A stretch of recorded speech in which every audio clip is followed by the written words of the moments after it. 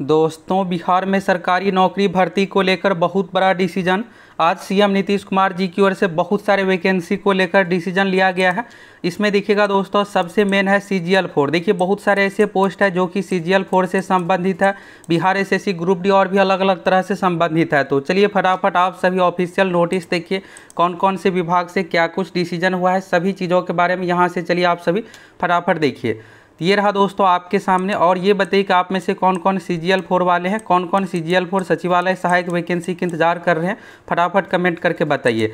तो यहाँ पर आप देखिएगा पटना में दिनांक 21 अगस्त 2024 यानी कि आज बुधवार को अपराह्न चार बजे मंत्रिपरिषद बैठक की कार्यवाही, मुख्यमंत्री ने बैठक की अध्यक्षता की। आज दोस्तों पटना में सीएम नीतीश कुमार जी की अध्यक्षता में कैबिनेट की बैठक हुई है और इस बैठक में देखिएगा तो कुल 31 अलग अलग तरह का डिसीज़न है। इसमें देखिएगा बहुत सारे ऐसे डिसीज़न है जो कि वैकेंसी को लेकर है और स्पेशली देखिएगा कुछ ऐसे भी डिसीज़न है जो कि सी जी से रिलेटेड है। यानी कि सी जी में ये सब पोस्ट शामिल होने जा रहा है। तो चलिए फटाफट यहाँ से आप सभी देखिए और आप सभी नई वैकेंसी की भी इंतज़ार कर रहे हैं। तो इसके बारे में भी आप सभी को बताने वाले हैं। तो यहाँ से देखिएगा, निम्नलिखित निर्णय लिए गए, जो भी इसमें है, सभी डिसीज़न लिया गया है। पहला देखिएगा, कृषि विभाग से संबंधित है। तो यहाँ पर चौदह करोड़ संतानवे लाख राशि की स्वीकृति और भी यहाँ पर नौ करोड़ अंठानवे लाख कृषि विभाग से संबंधित राशि की स्वीकृति इसके बारे में यहाँ पर रवि दलहन फ़सल से संबंधित यहाँ पर प्रोत्साहन राशि है। अगला देखिएगा, यहाँ पर वैकेंसी को लेकर है। तो देखिए, यहाँ पर कृषि विभाग से संबंधित है, बिहार कृषि सेवा कोटि नौ, सांख्यिकी के समूह क एवं समूह ख के सृजन सम परिवर्तन की स्वीकृति। देखिए, सरकारी नौकरी का चार कैटेगरी है ए बी सी डी तो सचिवालय सहायक, यानी कि सी जी एल फोर वाली जो वैकेंसी है दोस्तों, ग्रुप बी लेवल वाले जॉब है।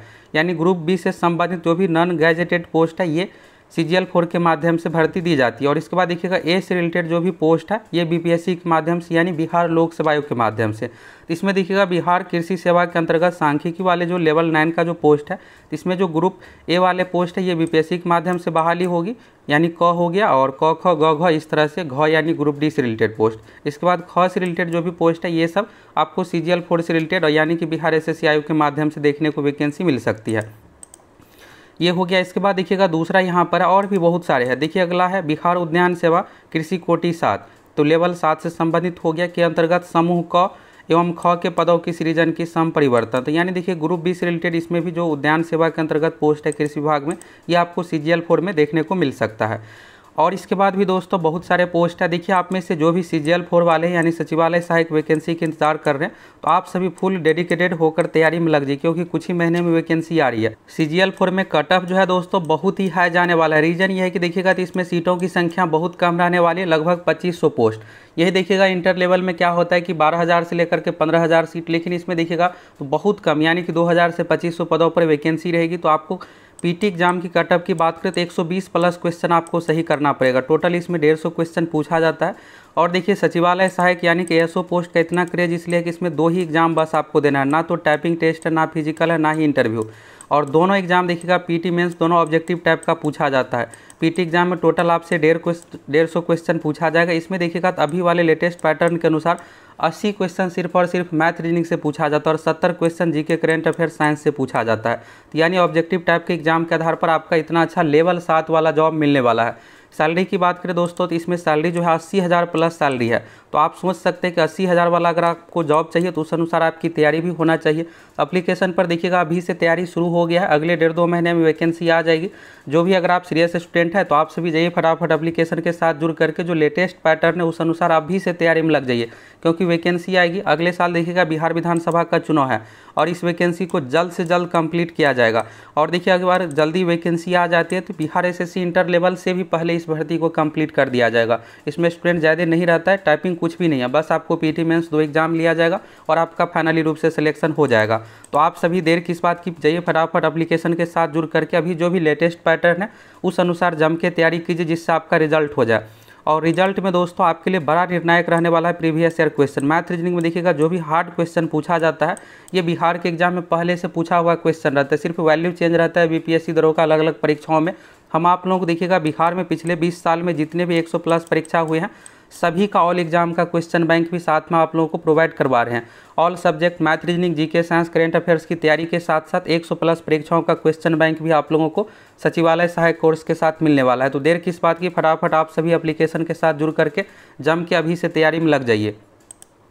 इसके बाद देखिएगा दोस्तों, अगला जो है खेल विभाग से संबंधित है। इसमें भी देखिएगा तो सीटों की संख्या अच्छा खासा यहाँ पर देखिएगा चार अलग अलग तरह का पोस्ट है।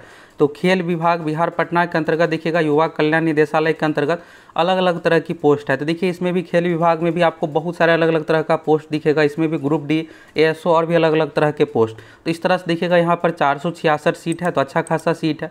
फिर इसके बाद देखिएगा, खेल विभाग राजगीर से संबंधित यहाँ पर है तो कुल तैंतीस यहाँ पर पोस्ट को संविदा आधारित नियोजन पर यहाँ पर किया गया। ये जो है चार ये देखिएगा परमानेंट वाले हैं यानी कि इससे संबंधित वैकेंसी दी जाएगी। इसके बाद देखिएगा, बिहार उत्कृष्ट खिलाड़ियों की सीधी नियुक्ति यानी खेल में जो भी मेडल लाते हैं, उसको यहाँ पर डायरेक्ट बहाली की जाती है तो उसके लेकर यहाँ पर संशोधन नियमावली 2024 को यहाँ पर स्वीकृति दी गई है। इसके बाद देखिएगा, सामान्य प्रशासन विभाग तो बिहार मध्य निषेध उत्पाद निबंधन विभाग के अंतर्गत एक यहाँ पर देखिएगा तो सत्र न्यायाधीश यानी जज से रिलेटेड पोस्ट की स्वीकृति दी गई है। इसके बाद देखिएगा, यहाँ पर श्रम संसाधन विभाग से संबंधित है। देखिए, आगे और भी वैकेंसी को लेकर है तो चलिए आप सभी पूरा देख लीजिए, फिर हर एक चीज़ के बारे में क्लियर हो जाएगा तो ये हो गया। इसके बाद देखिएगा, नगर विकास एवं आवास विभाग के अंतर्गत यहाँ पर सप्तम, यानी कि सप्तम वेतन को पुनरीक्षण के बारे में यहाँ पर लाभ दी गई है। इसके बाद पथ निर्माण विभाग से संबंधित है, दस करोड़ राशि की स्वीकृति है। एक सौ एक करोड़ इक्यासी लाख पचासी हज़ार यहाँ पर है। दस हज़ार एक सौ इक्यासी ये लाख है। चलिए अगला यहाँ यहाँ पर, पथ निर्माण विभाग से संबंधित यहाँ पर है। फिर इसके बाद देखिएगा, पथ निर्माण विभाग से संबंधित है।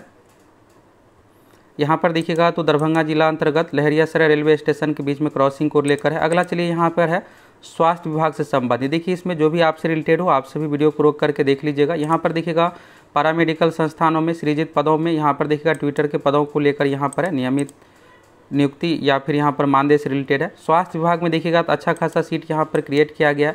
राज्य के अड़तीस जिला अस्पताल, इकसठ अनुमंडल अस्पताल, इसके बाद देखिएगा डेंटल हॉस्पिटल पटना हाईकोर्ट से संबंधित जहाँ भी है, यहाँ पर सभी को मिलाकर देखिएगा तो 770 दंत चिकित्सक यानी कि डेंटल डॉक्टर स्वीकृति पद यहाँ पर दी गई है।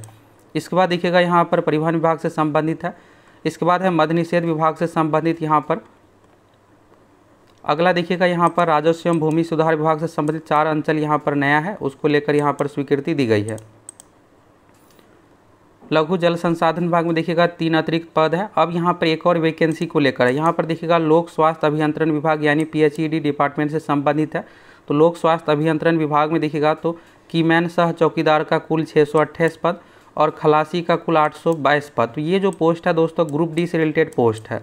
खलासी, ये सब जो पोस्ट होता है ग्रुप डी का, समूह घ से रिलेटेड पोस्ट है तो इसमें देखिएगा यहाँ पर तो विभाग वर्तमान में क्रियाशील सभी उनचास कार्य प्रमंडलों और आवश्यकता अनुसार पुनर्गठित करने उक्त पदों का दायित्व निर्धारण करने के संबंध में। तो यहाँ पर देखिएगा, ये जो भी पोस्ट है, उससे संबंधित यहाँ पर दायित्व निर्धारित किया गया और यहाँ पर आवश्यकता अनुसार पुनर्गठित किया गया। तो इसमें जो भी खाली होगा, फिर उस पद पर वैकेंसी भी दी जाएगी। इसके बाद देखिएगा, विज्ञान एवं प्रौद्योगिकी विभाग से संबंधित यहाँ पर देखिएगा टीचर से रिलेटेड पोस्ट है। दो सौ अड़तीस पदों की यहाँ पर स्वीकृति दी गई लेक्चर से रिलेटेड पोस्ट की। अगला देखिएगा, विज्ञान एवं प्रौद्योगिकी विभाग से संबंधित दो सौ तिहत्तर पद है। विधि विभाग से संबंधित आईटी प्रोग्राम का दो पोस्ट है। इसके बाद देखिएगा, सूचना एवं प्रौद्योगिकी विभाग से संबंधित है। वित्त विभाग से संबंधित यहाँ पर डिसीज़न है।